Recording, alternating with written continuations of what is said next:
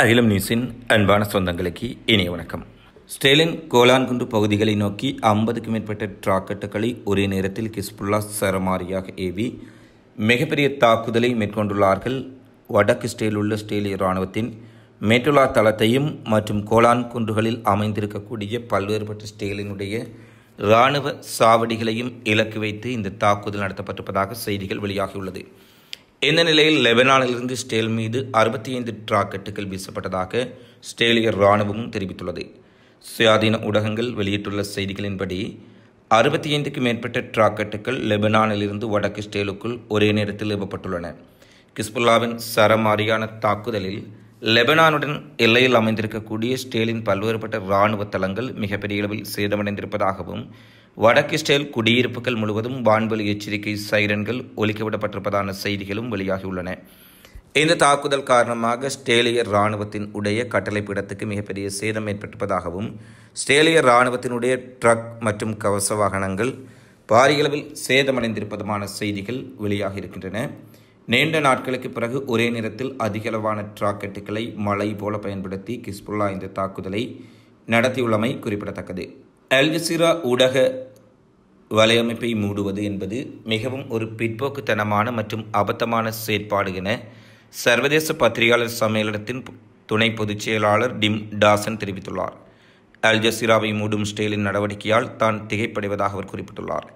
இது முற்றிலும் பிற்போக்கான மற்றும் அபத்தமான ஒரு முடிவு. ஊடகங்களை மூடுவது தொலைக்காட்சி நிலையங்களை மூடுவது என்பது சர்வதிகாரிகள் செய்யும் ஒரு வகையான செயல் என்று லண்டனில் இருந்து அல் ஜசீராவிடம் அவர் தெரிவித்துள்ளார். ஸ்டேல் ஒரு ஜனநாயக நாடாக இருக்க வேண்டும். மற்றும் ஸ்டேல் தான் தோன்றித்தனமான சர்வதிகார போக்கில் செல்வதை ஏற்றுக்கொள்ள முடியாது. ஒரு கணிசமான புகழ் மற்றும் வரலாற்றை கொண்டு ஒரு சர்வதேச ஒளிபரப்பை வெறுமனே மூட முடியும் என்ற எண்ணம் கொடூரமானது எனவும் இது ஊடக அடக்குமுறை மற்றும் ஊடக சுதந்திரத்திற்கு எதிரானது என டாசன் குறிப்பிட்டுள்ளார். இந்த மோதலில் பாதிக்கப்பட்ட மக்களையும் பல்வேறுபட்ட உண்மை தகவல்களையும் வழங்கியிருக்கக்கூடிய அல் ஜசீராவை மூடுவதை விடுத்து இஸ்ரேலிய அரசாங்கம் எதிர்த்து போராட எடுத்த பல நடவடிக்கைகளில் இதுவும் ஒன்றாகும் என அவர் குறிப்பிட்டுள்ளார். சர்வதேச நிருபர்கள் முதல் நாளிலிருந்து காசாவிலிருந்து தடை செய்யப்பட்டதாக டாசன் வலியுறுத்தியிருப்பதுடன் பல ஊடகவியலாளர் காசாவுக்குள் கொல்லப்பட்டிருப்பதாகவும் தெரிவித்துள்ளார். பாலஸ்தீன பத்திரிகையாளர்களின் இறப்பு வீதம் உலகில் எந்த ஒரு மோதலிலும் இல்லாத ஒரு மிகப்பெரிய இறப்பு வீதம் இது அதிர்ச்சிக்கு இருப்பதாகவும் அவர் தெரிவித்துள்ளார். குறிப்பாக நூற்றி நாற்பது ஊடகவியலாளர்கள் கொல்லப்பட்டுள்ளார்கள் என்று அவர் குறிப்பிட்ட அவர் போரின் போது ஊடக நிறுவனங்கள் அச்சுறுத்தப்பட்டதால் ஸ்டேலிய ஊடகங்கள் சுதந்திரமாக செயல்பட அனுமதிக்கப்படவில்லை என்றும் அவர் விளக்கினார்.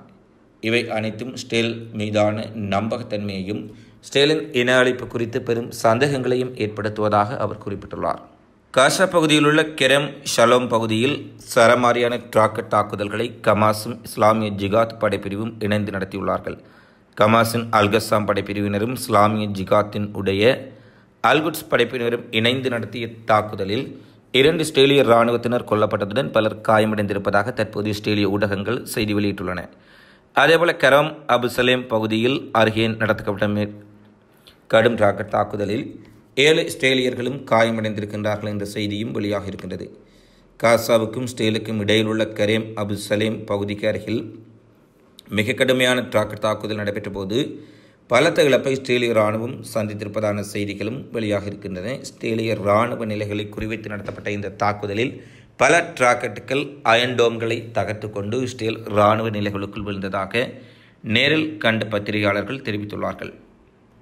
காசாவில் போர் நிறுத்தம் ஒன்றை மேற்கொள்வதற்காக ஸ்டேலும் கமாஸின் உடைய உயர்மட்ட தலைவர்களும் தொடர் பேச்சுவார்த்தைகளை நடத்தி வரும் சூழ்நிலைகளில் ரஃபாவை ஸ்டேல் ஆக்கிரமிப்பகாது என்பதற்கு அமெரிக்கா உத்தரவாதம் அளிக்க வேண்டும் என கமாஸ் தெரிவித்துள்ளது.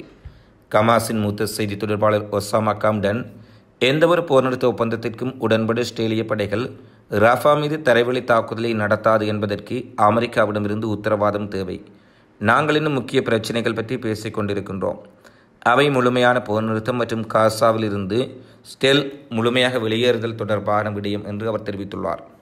துரதிருஷ்டவசமாக நெதன்ஜாகுவிடமிருந்து ஒரு தெளிவான அறிக்கை இல்லை. பணைய கைதிகள் ஒப்பந்தம் செய்யப்பட்டாலும் கூட ரஃபா மீதான தாக்குதல் நடைபெறும் என நெதன்ஜாக தெரிவித்திருப்பதால் போர் நிறுத்த ஒப்பந்த பேச்சுவார்த்தையில் சற்று பின்னடைவு ஏற்பட்டுள்ளது. இந்த நிலையிலேயே கமாசினுடைய உயர்மட்ட தலைமை காசாவில் ஒரு போர் நிறுத்த ஒப்பந்தம் ஏற்பட்டு பணைய கைதிகள் விடுதலை செய்யப்பட்டால் ரஃபா மீதான தாக்குதல் நடைபெறாது என்பதற்கு அமெரிக்கா உத்தரவாதம் அளிக்க வேண்டும் என்று தற்பொழுது அதிரடியான நிபந்தனை ஒன்றை விடுத்துள்ளார்கள். இவை தற்போது வெளியாக இருக்கக்கூடிய பிரதான செய்தி பதிவுகளாக பதிவாக இருக்கின்றன. தொடர்ந்தும் உலகெங்கு நடைபெறும் செய்திகளை உடனுக்குடன் தெரிந்து கொள்ள அகிலம் நியூஸுடன் இணைந்திருங்கள். நன்றி.